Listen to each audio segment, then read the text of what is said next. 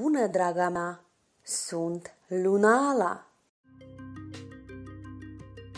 Dacă te-ai născut pe 30 octombrie, ești mai sociabilă și mai deschisă decât majoritatea scorpionilor. Elocvența îți permite să fascinezi literalmente mulțime. Îți plac discuțiile active, un schimb deschis de gânduri și idei. În ciuda respectării propriilor convingeri, Ești curioasă și interesată să explorezi și să discuți toate punctele de vedere asupra problemei. Simțul umorului și al intuiției îți cresc popularitatea și te ajută să comunici eficient cu o mare varietate de tipuri de oameni. Poți deveni manager bun, direcționând cu abilitate activitățile celorlalți. Pe lângă experiența care este complet renoită de-a lungul vieții, ai un talent pentru selectarea personalului pentru implementarea proiectelor, oricât de complexe ar fi acestea.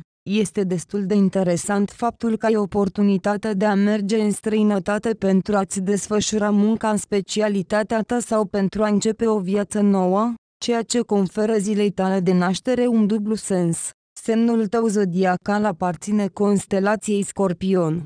Semnul zodiacal Scorpion este direct legat de semnele elementului apă, care se disting prin următoarele calități, devotament, respect de sine, rapiditate, hotărâre, muncă grea, răbdare. Ești condusă de războinicul Marte. Acest patron ceresc îți oferă pasiuni și energie puternice, curajoasă și activă, nu știi întotdeauna să-ți controlezi agresivitatea, Ești energică și ești supusă unor emoții puternice, în special ești geloasă. O minte practică și capacitatea de a acționa ți asigură succesul. Voința și onestitatea ta pot degenera în mângrie și încăpățânare arogantă, iar setea de activitate, într-o mișcare constantă sub influența propriilor instincte, nu întotdeauna bune. Trebuie să-ți folosești starea de spirit a intelectului pentru a înțelege pe ceilalți și a colabora cu ei. Impulsurile excentrice ar trebui să fie reținute.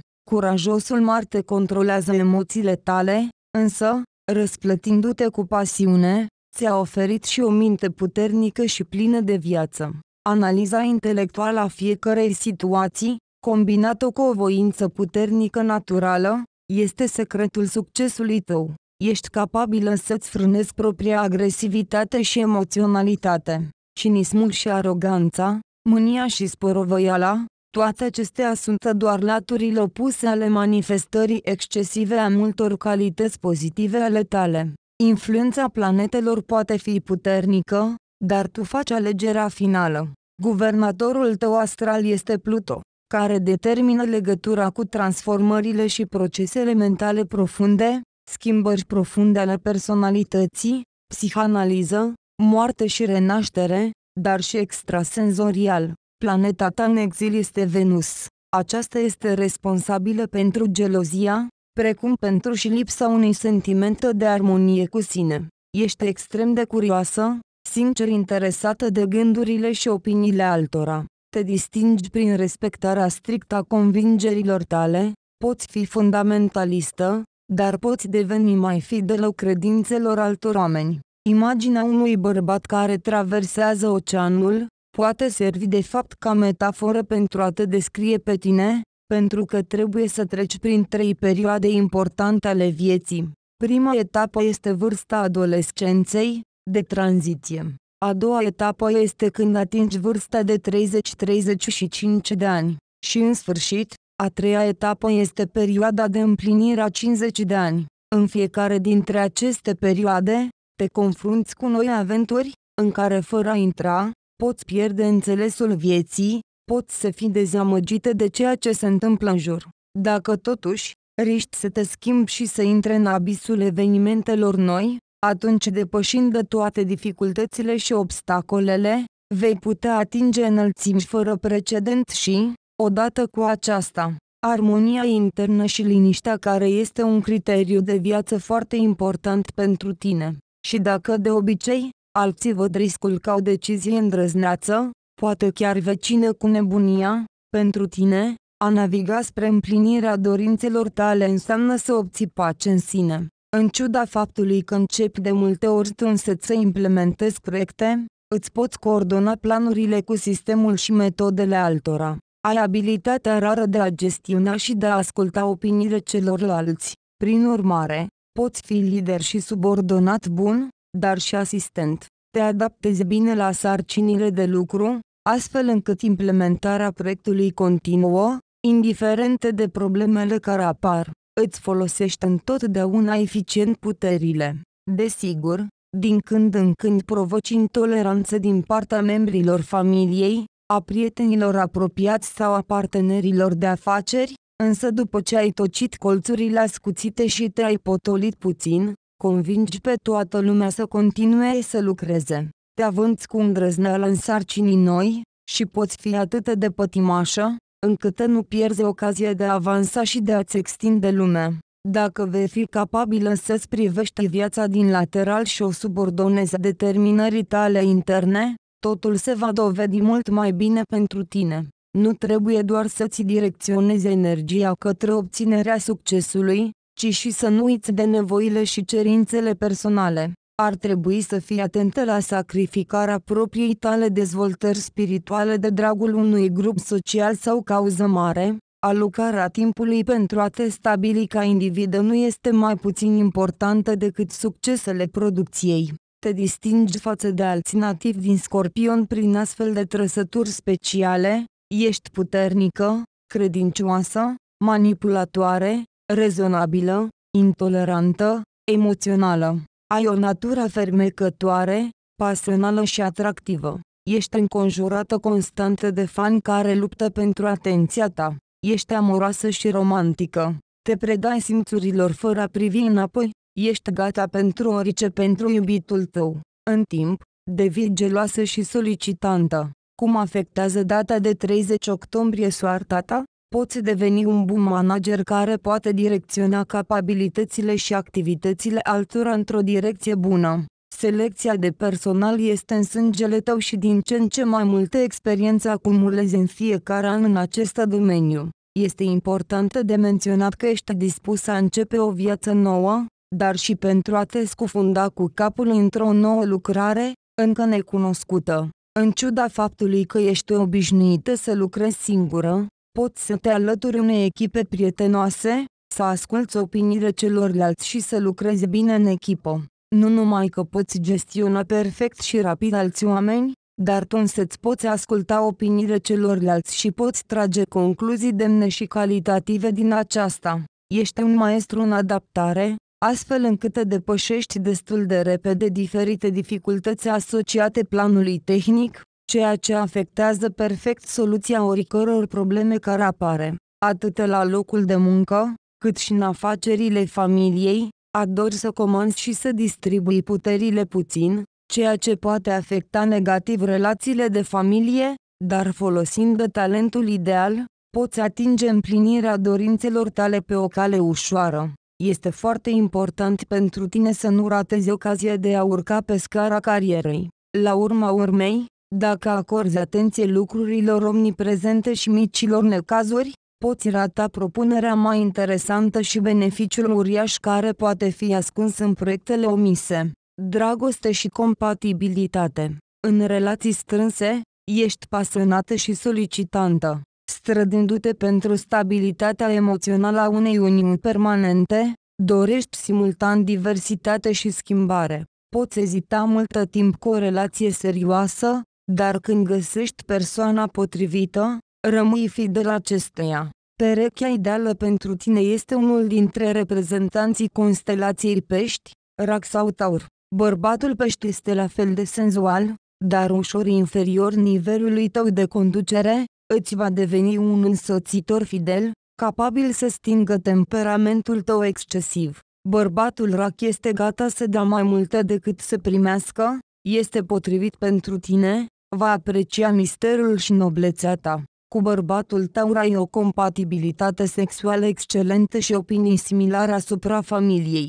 Cel mai dificil lucru pentru tine va fi să construiești o relație cu reprezentanții constelațiilor Berbec, Leu și Scorpion. În oricare dintre cazuri, ca doi lideri născuți, veți lupta constant pentru putere în cuplu, ceea ce va duce mai devreme sau mai târziu la finalizarea romanului. nimeni nu va dori să facă concesii sau să depună armele. Cu toate acestea, în aceste cazuri este posibil un roman scurt, dar viu și pasional. Bărbatul gemeni este independent și instabil, iar tu ești neobișnuită de geloasă. Cu alte cuvinte, această alianță este un adevărat amestec exploziv. Multe lucruri te pot lega de bărbatul fecioară, în primul rând caracteristici comune precum onestitatea, dorința de dreptate, simțul datoriei. O astfel de uniune se bazează pe iubirea prietenie, sprijinul și asistența reciprocă. Cu bărbatul balanță toate opțiunile existente pentru relații sunt posibile, de la prietenie la cooperare și de la ură la iubire. Uniunea cu bărbatul săgetător este pasională și furtunoasă, dar rareori lungă și de durată. Cel mai greu lucru pentru tine este să înțelegi și să ierți dragostea lui de libertate. Într-o relație cu încăpățânatul Capricorn, există pasiune, dragoste și respect reciproc, dar nu poate fi numită liniștită. Cu bărbatul vărsător este o legătură emoțională foarte dificilă. Pe de o parte, aveți o compatibilitate sexuală excelentă, tu ai suficiente fervoare și pasiune pentru doi, dar el aduce imprevizibilitate relației voastre, nu vei putea ierta trădarea. Totul este însă posibil, neștiind nici ascendentul tău și nici lista datorilor karmice reciproce, locuri de muncă și carieră. Ești foarte sociabilă, deschisă, știi cum și iubești să comunici. Dobândești abilități de comunicare încă din copilărie. Odată cu vârsta, abilitățile tale se îmbunătățesc. Ești înzestrată cu o elocvență uimitoare, ai talent oratoric. Monologul nu este pentru tine. În discuții se naște adevărul. Schimbul de idei, gânduri, brainstorming sunt printre pasiunile tale. Din fiecare discuție scoți maximul pozitiv pentru sine. Ideile sunt ulterior perfecționate, puse în aplicare. Pentru tine, managementul este un tip aproape perfect de activitate. Ești capabilă să gestionezi oameni și proiecte, ai toate calitățile necesare pentru a supraveghea cu succes procesele. De asemenea, poți fi interesată de activități de cercetare. Făcând de descoperiri, te afirm, primește recunoaștere, faimă, poți munci departe de patrie, îți poți părăsi familia pentru a câștiga o experiență profesională neprețuită, sănătate și boli. Îți pasă mai mult de sănătatea membrilor familiei, a prietenilor și a colegilor decât a ta. Trebuie să-ți aplici talentul organizațional de neegalat în raport cu corpul propriu.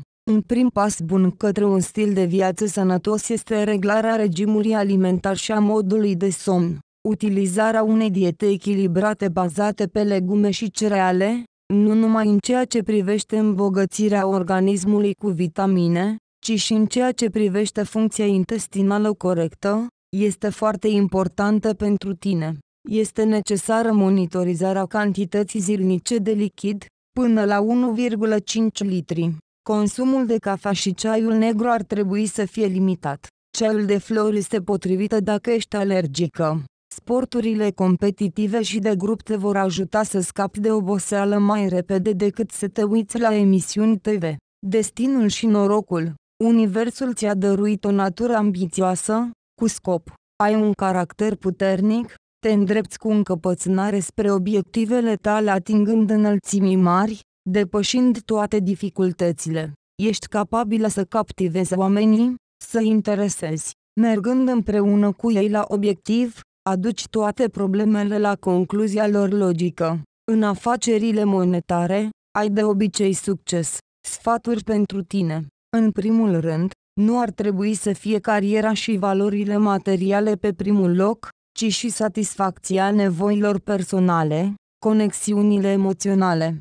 Doar dedicând mai multă timp pentru sine poți obține o satisfacție reală și poți deschide calea către fericire. Ce cadouri ți se potrivesc? Pentru tine, pe locul 2 ca importanță după sex, sunt cadourile.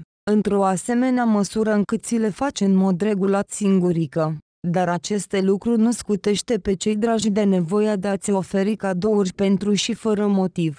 Dar dacă ți lipsește un cadou, atunci resentimentele și reproșurile nu vor fi suficiente până la sfârșitul vieții. Nu contează că cineva se roagă pentru păcatul său cu o grămadă de cadouri, acestea sunt alte daruri. Nu vei privi cu ochi buni niciodată un cadou fără ambalaj, iubești secretul. După ce ai primit un cadou, tu nu-l deschizi imediat. În primul rând, vrei să te bucuri de el în particular. În al doilea rând, vrei să prelungești misterul. Nimeni nu va greși dacă îți cumpără lenjerie super elegantă.